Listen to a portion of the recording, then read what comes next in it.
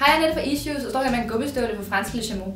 Le Chameau har produceret gummistøvler siden 1927, og de er kendt for at lave håndlavede gummistøvler i allerhøjeste kvalitets naturgummi.